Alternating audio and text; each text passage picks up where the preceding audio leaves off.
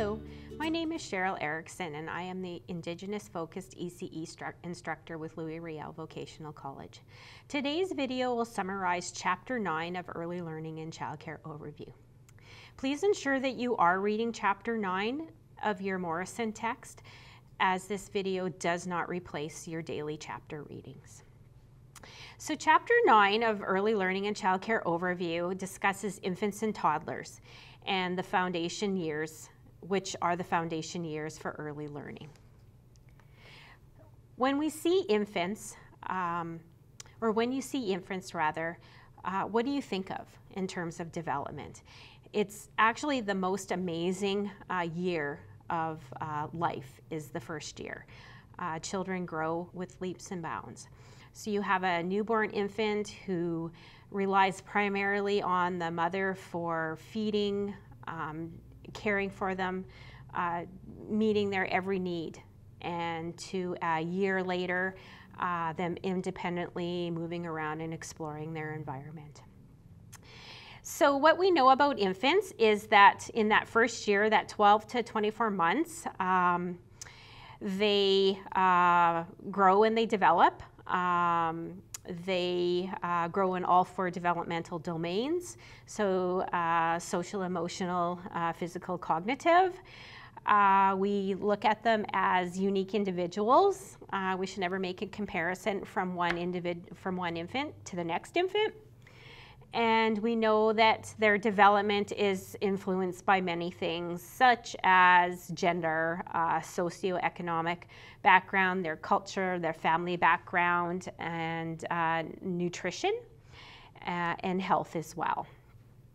Culture and development plays a key role in, in infant development. And so when we look at infants and as individuals and those family dynamics, culture plays a, a big role in um, their development and learning process. So simple things um, that you might not even think of regarding um, those influences are, are they bottle fed? Are they breastfed? Um, depending on that culture, um, breastfeeding could be an automatic, or depending on the culture and um, you know where they live or uh, the industry. Uh, if, if, it's a mom that's immediately going back to work, bottle feeding may be the only. Um. So feeding solid foods is very different um, for every family and within each culture. Some um, start solid foods earlier than others.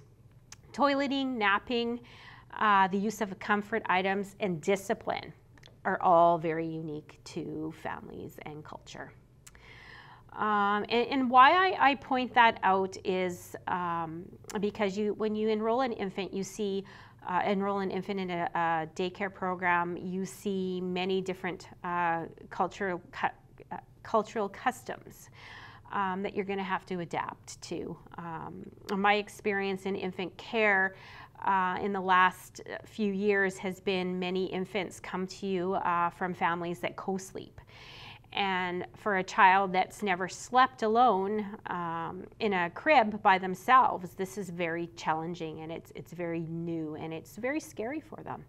And so that adjustment into your program is going to take longer because not only are you transitioning them into care, you're transitioning them from uh, a, a, way of life that they know at that time and that they only go to sleep and sleep with a parent. And so it's very different, and we have to be um, very mindful of that. We've gained a lot of research about infants and toddlers and how they develop. Um, we look at the year 2000, it's 2019, and we've been studying children for um, hundreds of years. There's been many theories uh, regarding children's development. There's so much technology. We know so much more about how children learn and grow and develop than ever before. So we've terms that are in your textbook, such as neural shearing or pruning. Uh, selective elimination of synapses is, um, you know, basically the loss of brain cells. If you don't use them, you lose them. And so uh, brain connections are very, very important in infant development, and that stimulation uh, is, is very important um, because those uh, brain synapses, those um, um, path neural pathways are all being developed um, in, in, that first year. It's it's the greatest development um, occurring in, in, life. So we want them to to maintain those uh, those uh, connections. Um, age appropriate experiences are very very necessary and within those sensitive periods as well. And so when I see that. Um, you know, you when you're approaching an infant uh, and toddler and you're providing them with with materials and, and things to play with, they should be appropriate to that age of, of development. So, um, for example, you're not going to, um, you know, you're not going to give a baby that's a day old uh, a, a, rattle or a, a toy to, to, to shake because um, that isn't in their development uh, right right now. A, a, newborn infant is their their most important. Um, um, the most important thing they do, or the learning that they're doing, is is a, of is involved around um, sucking. Um, sucking is the first response to uh, the first almost behavior an infant uh, exhibits, and that's because it's a survival thing. It's, it's how they, they eat, how they look for food. Um, brain research, uh, as far as, as babies uh, go, um, babies are born to learn. Um, language has said to uh, start to develop before a baby is even born. And uh, what I mean by that is uh, when moms are, are pregnant, uh, they're often talking to their infant, they're playing music. So infants are born almost, or rather, infants are born um, with the ability to recognize the voice of their mother. Brain development is a lifelong is lifelong learning for children.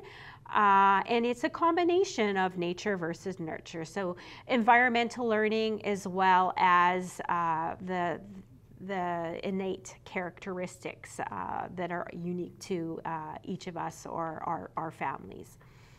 Those early life experiences have lifelong influences on how children learn, grow, and develop. And so, one of the biggest um, issues in infancy is safety, security, and attachment. Uh, the foundation of attachment is huge for, for infants in the sense that if a child isn't doesn't have a secure attachment, they're not going to feel safe. Uh, they're going to be insecure, uncertain, and it does affect uh, how they learn and grow and develop.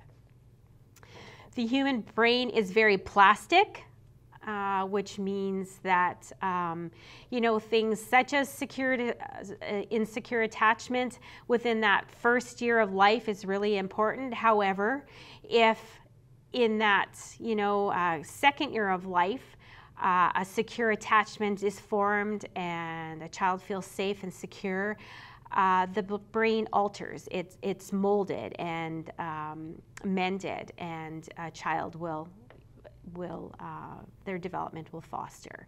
It will be a positive experience for them. An enriched environment with many um, uh, hands on, many positive experiences. Um, in, increases that, uh, that developmental process as well. So some of the key concepts for infant development that we look at is uh, chronological age uh, is in their chronological age or where they are um, assessed developmentally. So chronicle, chronological age meaning um, the day you were born, um, the year you were born uh, sometimes doesn't reflect uh, where you are uh, developmentally. So, for example, a child that's three years old um, at their date, according to their date of birth and birthday, may be assessed uh, at a uh, two year old level. So, there is some cognitive, um, maybe some cognitive delays, and they aren't um, at that. Um, at that chronological age level. And when I also say that, I think it's important to remember again, even though you're three, it doesn't mean that you do uh, everything a three year old should, should do. Uh, when you're one, it doesn't mean you walk. Uh, typically, around the age of one, children will walk. Uh, however, some children walk at 10 months and some children walk at 18 months. So it all depends on your uh, development and it's unique to, to all children.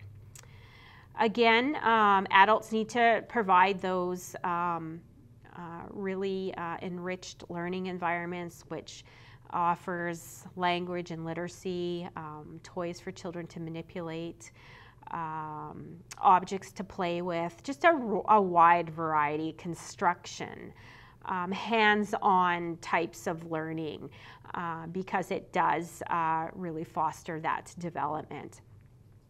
And again, infants learn through sucking, grasping, and looking. That's the first, uh, the first learning that takes place for a, a baby. Uh, and the, as infants learn, grow, and develop, uh, they evolve. So it's almost like stages that they go through. So, for example, you know, before you can um, before you can walk, you need to be able to learn to crawl, to to pull yourself up um, onto furniture. We just don't. One day, a baby just doesn't get up and walk. There's certain processes that they go through that leads up to uh, walking characteristics of infant and toddler motor development. So development is sequential. So for example, before a child can sit up, they need to be able to uh, hold their head. They, they need to develop uh, some neck strength. They need to develop torso strength, and that gets them to the point of sitting up. And um, you know, from sitting, uh, they'll start to, to move, whether it's crawling. They'll usually, you know, uh, babies crawl in different ways. Sometimes they, uh, you know, just kind of slide their bum to um, rolling over. There's just different steps that lead up to that process. So um, part of our experience is going to be um, uh, spending time in an infant program in hopes that you can see some of, of these uh, sequential steps uh, in development. And, and so having said that, infants develop from head to toe, so cephal to caudal development. So that means one of the first things that infants develop is the ability to hold their, their head uh, and their neck muscles need to be developed and strengthened in order for them to be able to hold their head. So a newborn infant, we always support their head and neck because that, there's, there's no strength in that. And, ox, and then the next stage is proximal to distal. So it means they, they develop uh, torso strength and you develop uh, arm strength before finger and you crawl before you walk. Uh, so your legs develop before your feet develop. So it's all a, a, a process uh, in, in, that evolves over time. Toilet training is another uh, step in development as well, and, and, and a lot of that has to do with um, that self regulation and, and your body learning and, and growing. Um, why is outdoor play necessary? Outdoor play, uh, th there's so many um, uh, interesting mediums and visuals that you uh, partake in in outdoor play, from running and climbing and um, rolling around, hopping, uh, playing in the sand, seeing the natural elements around is really important for, for overall development as well. So when it comes to infants and toddlers and how they learn, language development is huge. Um, like I, I, mentioned earlier, infants um, learn language before they're born. Uh, we're talking to them in the womb. Um, language helps define us as human. Um, you know, where would we be if we weren't able to communicate um, and tell people what, our, what we needed, what we wanted? Um, infants typically communicate to us through through crying, and, and we're trying to figure out what it is. Are you hungry? Are you tired? Do you need a diaper change? So that's the first kind of language that um, is is displayed. Um, you know, uh, there's hereditary factors. Babies are born hardwired with an internal biological mechanism to learn. Uh, and there's the environmental uh, side of it where um, language development uh, increases through those live interactions with others. and in, in engaging and talkative parents. And that is also reflected in why, in a lot of cases, there has been so many initiatives, um, such as Head Start or the Healthy Baby programs or uh, prenatal programs, because it's teaching uh, new mothers and, and, and new families uh, the importance of literacy and, and, why we need to start talking uh, and why it's important to sing uh, to our child because it, it sparks thought. Um, it's a lot of repetition. They're learning words. It's, it's the start of language development. So some other characteristics of language development, um, the sequence of language, uh, baby singing. Uh, so we're, we're singing songs um, uh, like um, uh, round and round the garden on their hands. Uh, it's stimulating. Uh, it's a sensory. They feel it. We're tickling their toes. We're doing little finger plays with them, and we're in, we're engaging. Uh, and that's that has many. Um, it means many different needs. Not only are we encouraging literacy, we're we're touching, uh, we're engaging in conversation, we're um, developing that relationship, that, that sensitivity, that security, attachment. And, and that's all important to development.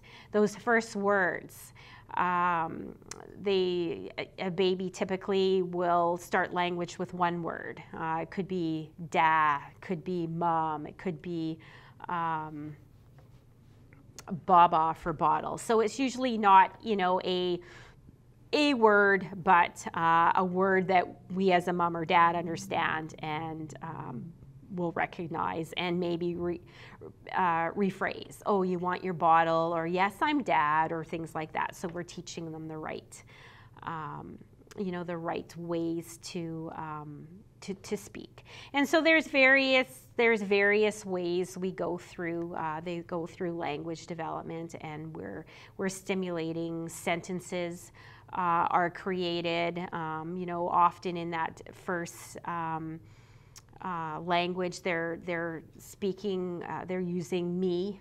Um, they, they mix up he, she, or say boy, girl. So there's different types of stages of language development that children go through.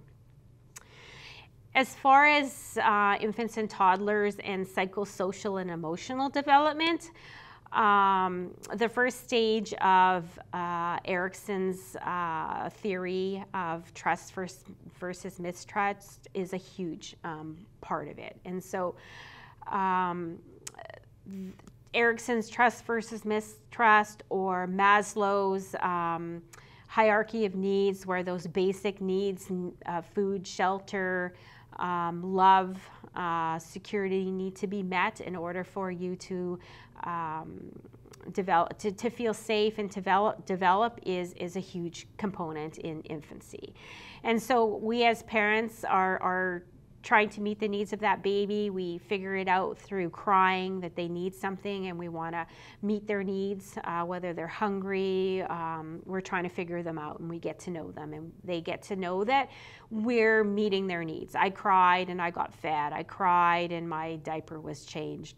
Mom sang to me. So there's nice, positive interactions that put a baby at ease and, and trust is built. And that's the, the start of learning as well. And so attachment relationships um, ha are, have different components to it. There's bonding. Um, you hear that term, um, mother child bond. You know, that's a, a, uh, a relationship. Development, attachment behaviors.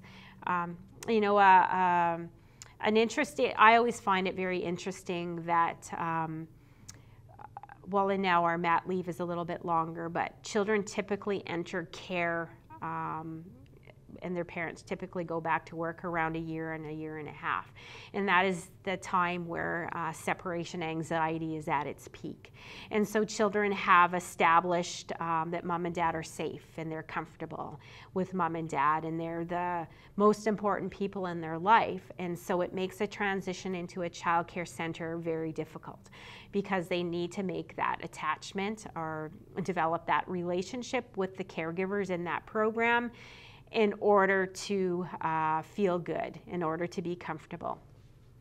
So, uh, a typical baby will struggle coming into a center. It'll take them a while to adjust and it'll take them a while to develop that relationship and feel comfortable. And when that is happening, uh, until they're they're feeling safe and secure and comfortable, they're not eating well in the center and they're not sleeping well in the center. And so once that comfort sets in, those needs uh, change and they do eat and they do sleep. Um, so babies can have multiple attachments. They can be attached to mom, to dad, to grandma, to grandpa. They can be attached to a caregiver at a daycare center. Uh, quality of attachments is huge. Um, a good solid attachment gives that child, that infant, that sense of safety and security, um, and that that fosters development. So if for some reason they don't have a strong attachment with a parent, but they have a strong attachment with a grandparent, that will help foster that development as long as they have an attachment.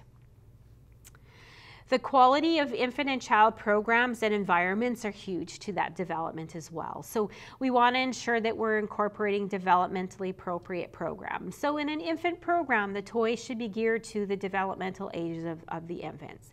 And it should be things that infants can easily grasp in their hands, things that are not too small to pose a choking hazard, but are large enough for them to be able to pick up to manipulate.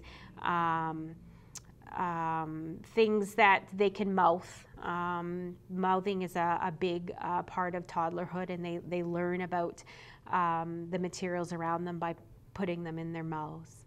Um, things for them to climb on safely, um, to pull their bodies up. Uh, a wide space for them to move around and explore their environment is huge. Curriculum is going to promote relationships, meet the needs of the children, meet the interests of the children, so lots of hands on um, opportunities and exploration.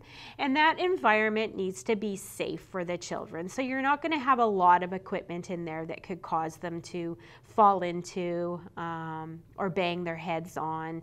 Uh, your surfaces should be um, something that um, you know if they fall that they're not going to hurt, themselves. So not a concrete floor some mats or carpeting that that that uh, is safe for them to, to move around. Accommodating uh, accommodating diverse learners and again i say that in each chapter uh, we do accommodate we do talk about accommodating diverse learners uh, how do we accommodate diverse learners in an infant and toddler program? And typically in an infant and toddler program, you, you have an age range of as young as three months to two years of age. So in having said that, that's diverse learners in itself. So uh, again, you're going to have a, a, wide variety of um, toys and equipment and material to meet the needs of all children.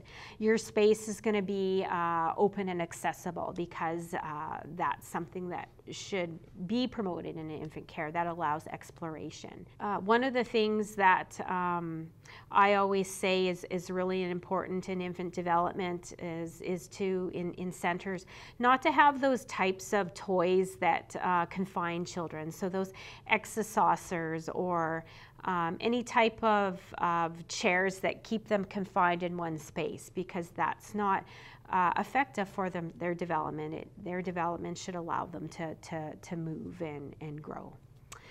Um, Self regulation, that's uh, a child's ability to gain control of their body and their body functions. So, for example, toilet training.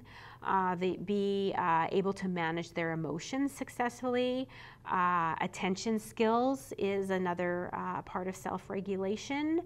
And um, you know, all of that uh, is important to that uh, toddler development. There is a goodness of fit. Um, you really have to have a connection with that child. If you're disconnected and you're not understanding, you uh, it, it's not going to promote uh, positive development. And in some situation, it might um, be something that makes a child feel uh, some disconnect or uncertainty, and, and that's not good for um, the child's development. It's really important to build relationships. Uh, in our infant programs, our ratios are one to four. Uh, which allows us uh, throughout the day um, to spend some one on one time. with the children. And, and that's really important uh, to develop that uh, relationship and to make connections with that particular child and to know their interests, to know where they are developmentally. Um, and then again, that's uh, really uh, developing those self regulations. I also want to mention in an infant program, uh, infants don't follow a, a rigid uh, schedule. In the program, the schedule should work around their needs. So we don't have nap time at a specific time. Infants should nap when they need to nap. Uh, and again, that is uh, important for their development. And they should be eating when they're hungry because uh, that's meeting their needs. And again, it's important to their development. So that concludes uh, chapter nine of uh, Early Learning and Childcare Overview and taking a look at uh, infants and toddlers and their development. So please do see your instructor if you have any questions or need some clarification on anything discussed today. Also check in with your instructor to ensure that you haven't missed any handouts for this chapter or uh, assignments pertaining to chapter nine.